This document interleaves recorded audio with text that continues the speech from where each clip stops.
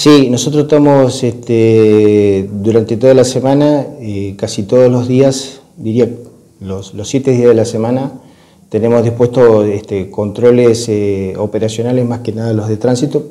Más que nada lo que buscan es ver quién está transitando en nuestra, en nuestra ciudad y de hecho este, hacer las previsiones por si existen personas con malas intenciones que quieren este, perturbar la buena convivencia que tenemos en la ciudad.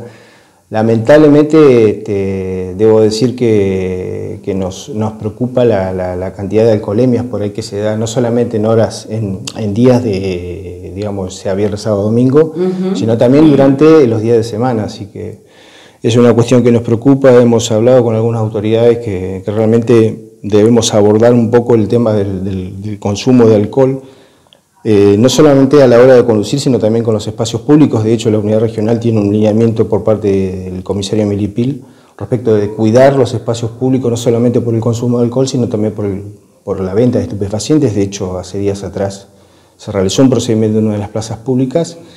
Y bueno, es un tema que creo que hay que ponerlo en el, tapete y, empezar a trabajar un poquito lo que es el consumo de alcohol, sobre todo la venta de alcohol porque realmente este, no tenemos que esperar a que suceda un hecho grave para realmente este, tomar carta en el asunto. Objetivamente, objetivamente conforme este, los datos que se recaban en los procedimientos, son, son ciudadanos acá de la, de la, ciudad. Desde el punto de vista nuestro debemos atacar sí el tema de la venta, el tema de la venta de alcohol.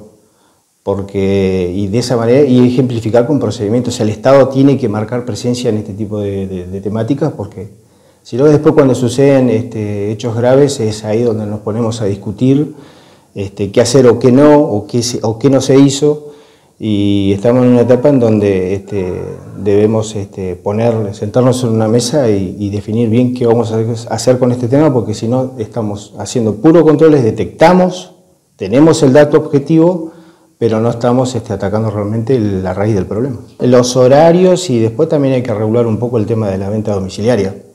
Realmente hay algunos que, le han encontrado la beta, este, como el Estado no puede hacer un control efectivo porque son domicilios particulares, este, entonces le han encontrado la beta de comerciar este, bebidas alcohólicas y no discriminan edades, porque dentro de todo, y eso es una exigencia y una obligación por ley, todo comercio debe vender bebidas alcohólicas a mayor edad.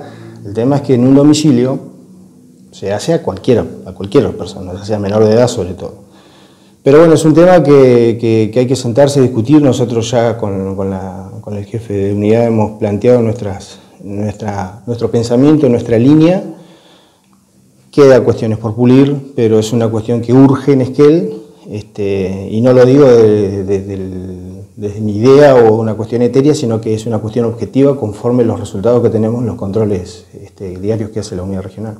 Sí, sí, inclusive no solamente, esto no es únicamente de competencia del Tribunal de Falta, acá este, también está la, justicia, lo que tiene que ver con las cuestiones eh, contravencionales. Tenemos un código de convivencia con, digamos, de, contravencional que, rige acá en, Chubut y también da una serie de instrumentos a la, a la policía y a la fuerza de seguridad como para abordar el tema. Este, pero bueno, estamos teniendo algunas cuestiones que, bueno, que destrabar, pero eh, es un objetivo por parte de esta unidad regional.